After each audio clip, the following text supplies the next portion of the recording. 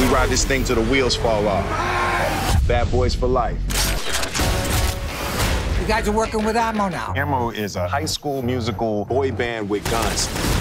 Bad boy. Hey, what, she gonna, gonna do? No! Y'all will never do that again.